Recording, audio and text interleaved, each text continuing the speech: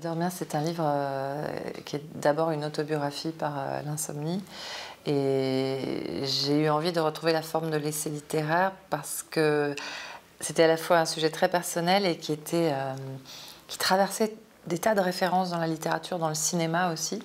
Et je me rendais compte que tous les auteurs que j'aime sont insomniaques en fait. Et plus j'ouvrais des livres presque au hasard dans ma bibliothèque, plus l'insomnie poussait comme ça et dans le cinéma aussi. Et, la forme de l'essai s'est imposée. J'avais envie de parler de, du manque de sommeil et de, cette tragique comédie qu'est l'insomnie à travers aussi d'autres auteurs. Je suis insomniaque depuis 20 ans et je crois que j'avais honte de ne pas dormir parce que c'est une insomnie chronique qui n'a pas vraiment de, de cause, qui n'a pas de thème, comme disait Marguerite Duras.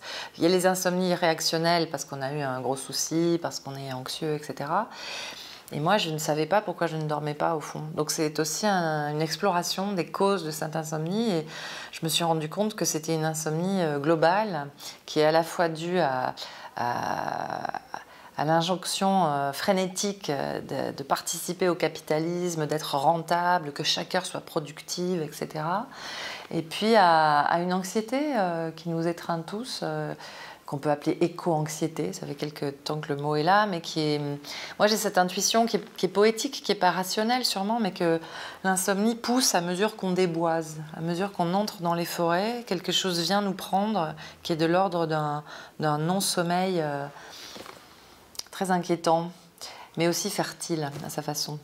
Chez les autres auteurs insomniaques, il y, a, une forme de, compagnie nocturne. Moi, je lis beaucoup la nuit, mais même de solidarité. Et on sait tous, depuis l'école, quoi, que Proust était asthmatique. On sait parfois moins qu'il était insomniaque, mais il était dramatiquement insomniaque.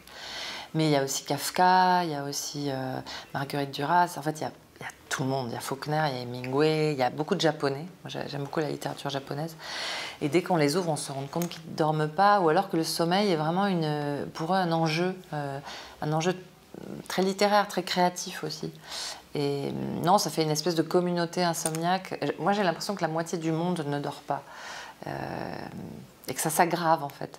Je crois que la plupart des écrivains sont insomniaques, mais euh, beaucoup d'insomniaques ne sont pas écrivains, mais ils vont chercher autre chose. Moi, mon père était insomniaque, il travaillait dans une fonderie. C'était son métier qui l'avait rendu insomniaque parce que les machines tombaient en panne et on lui téléphonait la nuit pour, qu'il vienne les remettre en, en route. Et, c'est devenu un grand lecteur aussi, parce qu'il n'arrivait jamais à se rendormir. Et bon, ça l'a aussi à moitié tué. Hein. Mais hum, c'est un trajet de vie qui est, à la fois un drame et, qui a aussi quelque chose de parfois comique. Parce qu'entre insomniaques, on se donne des trucs pour dormir qui ne marchent jamais. Donc c'est l'histoire d'un long ratage. C'est l'histoire d'une série de nuits ratées. Euh, Bon, et tout le livre parcourt ça. Il y, a, tout un chapitre qui s'appelle J'ai tout essayé, où j'ai vraiment tout essayé. Alors évidemment, les barbituriques, l'alcool, qui endort mais qui réveille à 4 h du matin, euh, l'hypnose, l'acupuncture, l'ostéopathie crânienne, et puis les gadgets, toutes les applications de méditation. Moi, la, méditation, ça m'exaspère à 4 h du matin. Bon, donc j'ai tout essayé. Donc je suis aussi un personnage comique, j'espère, parce que c'est une façon finalement de pas non plus désespérer. La plupart des méthodes fonctionnent effectivement, mais le premier soir, la première nuit. Et après, ça recommence à rater. Le pire étant le jeûne. Moi, j'ai jeûné pendant une semaine. C'était pas mal.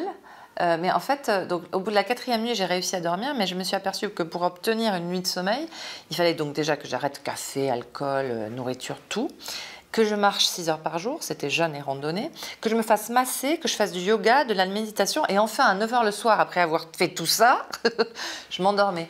Donc je passais ma journée à préparer ma nuit. Et ça, c'est pas possible. Quand je l'ai rendu à mon éditeur, la première nuit, j'ai dormi.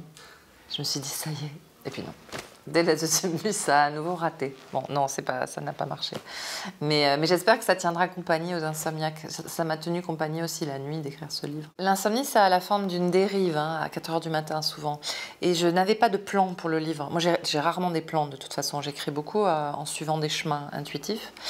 Et là, c'était un essai, donc il fallait quand même que j'accompagne les lecteurs quelque part. Et je me suis rendu compte que ponctuer ce que je racontais de, photos de mes voyages ou de, captures d'écran de films ou de tableaux euh, qui avaient trait à l'insomnie, ça permettait d'avancer sans forcément de plan rationnel. L'insomnie n'est pas rationnelle. Et elle s'accordait très bien de ce cheminement par les images aussi.